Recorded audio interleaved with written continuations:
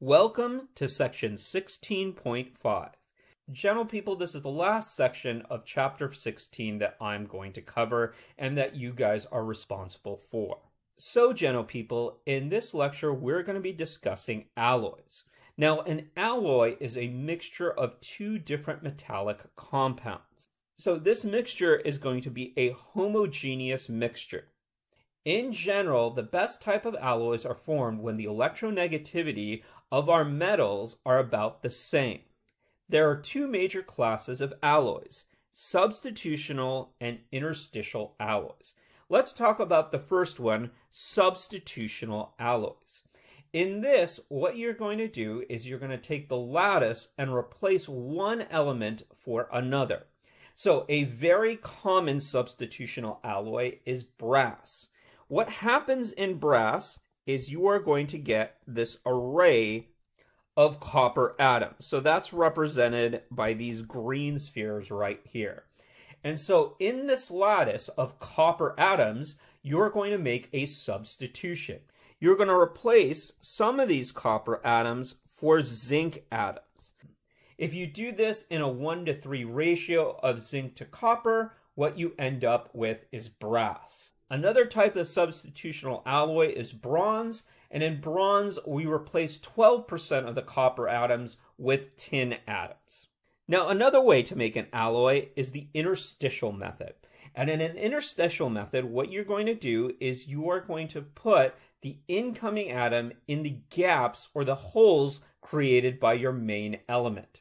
So a good example of this is steel. What you have in steel is you have an array of iron atoms. Here the iron atoms are represented in green and what you're going to do is in between the lattice of these green atoms, you're going to place another atom. And in this case for steel, what we do is we put carbon atoms in the gaps. So what they do with steel is they heat the iron real hot so that the iron lattice expands, they introduce the carbon, and then they cool the metal down. You, you might have seen a blacksmith quench a steel ingot, and the reason they quench it is they make that lattice contract, and so the carbon gets stuck in between the iron lattice. Now, before I talk about the next type of alloys or mixtures, I want to go into what's called band theory. Now, band theory is going to play off the electronic structure of metal compounds, particularly metals and semiconductors. Now, we're going to go back a little bit and talk about molecular orbital theory. All right, general people, let's do molecular orbital theory and let's start out with the sodium atom. So I'm going to take sodium and I'm just going to deal with its valence electrons and it has a 3s orbital filled with one electron.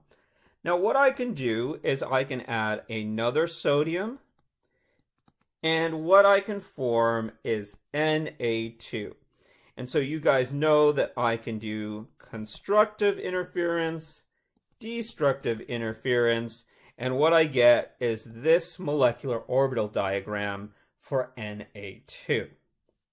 Now let's think about this. What would happen if I take Na2 and another Na2 and I get that same molecular orbital diagram and I go ahead and put these two Na2s together to make Na4. Now I'm going to do the same kind of process. I can bring these two orbitals together, constructive, destructive interference, and then I can put these two guys together on the bottom. And what I can do is I can fill up my electrons like so. Now what I can do now is I can take two Na4s and put those two Na4s together. And then I can go ahead and get Na8. And I can do this over and over and over and over again. So, a couple of things that I want you to take note and the consequence in doing this ad infinitum. So, ladies and gentlemen, here's what I talked about on a slide. Here's just sodium, Na2, Na4, and then I'm going to keep going and I'm going to keep on adding NAs together. Now, what you guys will see is that you guys will see all the anti-bonding orbitals kind of be on the top as I go make them. And you'll see all the bonding orbitals be on the bottom of this structure. Now, what you'll notice is that when I start making these, you'll start to see that my orbitals get closer and closer and closer together. If I keep doing this, what's going to happen is all my orbitals are going to come up. And so instead of saying that I have discrete orbitals, I'm just going to say that there is a band of orbitals up on top that is anti-bonding, and I have a band of orbitals on the bottom, and I will consider this bonding. In this picture, what you will notice is my bonding orbitals are all filled with electrons. And this is the hallmark of band theory. What we're saying is that when we put a whole bunch of atoms together, all their atomic orbitals mix together, and instead of having discrete molecular orbitals, I will generate these two bands, the anti-bonding band and the bonding band. When I put trillions and trillions of sodiums together, that's what's going to happen. Now, that anti bonding band, what we're going to do is we're going to call that the conduction band. And the band with all the filled electrons that are considered bonding, we're going to call that the valence band. It turns out that the energies of these two bands and their relation to each other is very important with conductivity. So, for conductivity to occur, what I need to have happen is I need to have mobile electrons. And that means electrons that can jump from one orbital to another within the band themselves. So let's take a look at an insulator. In an insulator, what you guys will notice is that there is a large difference between the conduction band and the valence band. And so remember, the valence band is always filled. And so if that's the case, all my electrons are in an orbital inside the valence band and they have nowhere to go. And so my electrons are not mobile. This explains the reason why insulators don't conduct electricity. But let's take a look at a conductor. If we were to look at the relationship of the conduction band and the valence band in a conductor, what you guys will see is that the energies of these two bands, well, they overlap. And remember, the conduction band is filled with a bunch of empty molecular orbitals. And since the valence band has all these electrons, what can happen is electrons in the valence band can move into these empty orbitals in the conduction bands. And because the conduction band is empty, that means these electrons are mobile they can jump from one atom to the other through the conduction band itself. And so this is the reason why conductors can conduct electricity. My electrons are mobile. Now let's take a look at a semiconductor. Like its name says, it's not superconductive. It is only conductive under certain situations. If I were to look at the band model, what I would see is that the conduction band and valence band, there is a little bit of difference. There's an energy gap in between them. Now, remember, I want mobile electrons to make sure my substance is conductive.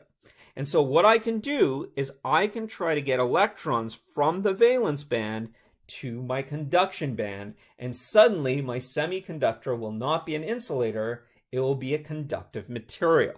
Now, because the energy gap is so small, there's a couple of things that I can do. One thing is, if I add heat, well, my semiconductor is going to be suddenly become more conductive. If I were to introduce light, well, again, what can happen is I would promote electrons from the valence band to the conduction band, and now suddenly my electrons are mobile and I get conduction through there. Now, there's other ways to make semiconductors more conductive, and that is to go ahead and dope a semiconductive material. Doping means that I'm going to take a foreign atom and place it into my crystal lattice. And so in essence, I'm making a type of alloy with my semiconductor materials. Now there's two types of semiconductors that we can make. One is called the N-type and the other is called the P-type. So let's go ahead and look at an N-type semiconductor. Let's say my bulk material is silicon. Now, if I just had silicon, then my picture would look like this picture right here. My valence band and my conduction band, they do not overlap, but the energy gap between them is very small. Now remember that the valence band is filled with electrons and my conduction band is empty. And I want to get some electrons into that empty conduction band. So let's go ahead and make an N-type semiconductor. So what I can do is I can take a crystal of silicon and I can go ahead and dope it with arsenic. Now the reason I dope it with arsenic is there is a disparity in the number of valence electrons. If I go ahead and look at silicon, silicon has four valence electrons. That means all it takes to fill my valence band is to have four electrons and my valence band is completely filled. So this is true for pure silicon. But if we look at arsenic, arsenic has five valence electrons. And so when I substitute out some of these silicons for arsenic, well, arsenic has the four to fill up that valence band, but then it has these excess electrons or these extra electrons. And these extra electrons are going to go ahead and reside in this special type of molecular orbital between the two bands. And so this is my dopant or me doping electrons inside it. Now, since I put extra electrons or extra negative this is called an N-type semiconductor.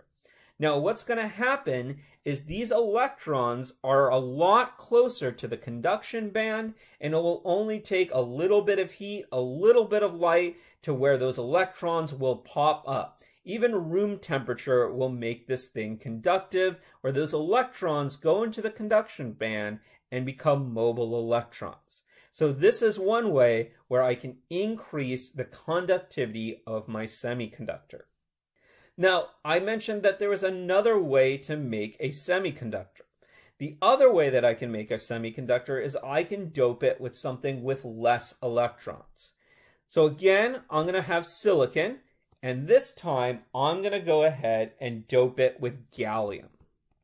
Now, what you guys will notice is silicon has four valence electrons, and gallium only has three valence electrons. So if I had something that was pure silicon, well, my valence band would be filled with electrons because it takes four electrons to fill that valence band.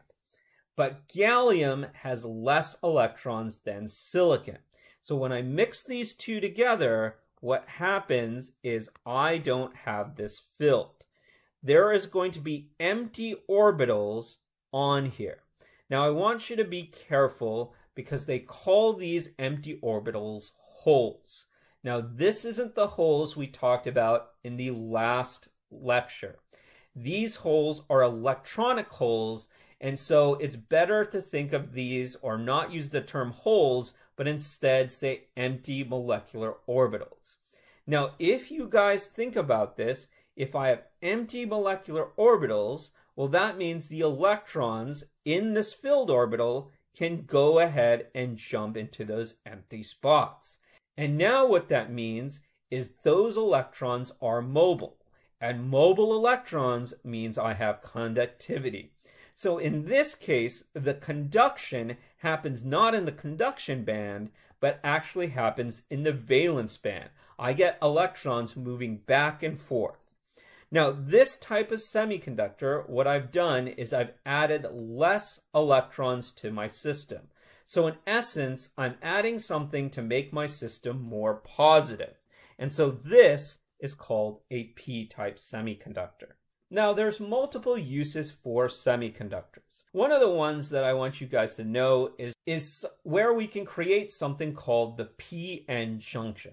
So here's what your book is trying to explain. If I take a p-type semiconductor and put it next to an n-type semiconductor, what you get is a p-n junction.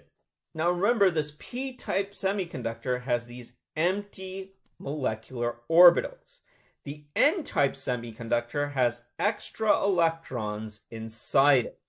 And so what can happen is that I can put a bias across this p-n junction. So let's say we put the negative terminal of a battery on one end and the positive terminal on the other end. Well, this negative terminal is going to attract those empty orbitals. And then on the other side, the positive is going to attract all the electrons. And so what occurs is that electricity cannot pass if I set up my bias this way. Meaning I put the positive end of the battery on the p-type semiconductor and the negative terminal to the battery on the n-type semiconductor, what you can see is that these, these mole- empty molecular orbitals start to drift over to this side, and then the electrons will start to drift over to the other side. And so what I can say now is electrons are going to be moving through my p-n junction. So this is conductive, where this was not conductive. And so this is what a p-n junction does. It only allows electricity to pass from one end to the other end, but it doesn't allow electricity to flow in the opposite direction. Now, this is important if you are dealing with alternating current and direct current. The electricity that you get out in your walls, well, that is an oscillating current going back and forth. The current that you use on your laptop or charging your cell phone or tablet, well, that is a battery and uses direct current. And so what you have to do is you have to turn that alternate current into direct current. And one way to do that is through a rectifier, which makes use of a p-n junction, making electricity flow in only one direction. All right, Chem 1C, I hope that made sense, and remember to stay safe.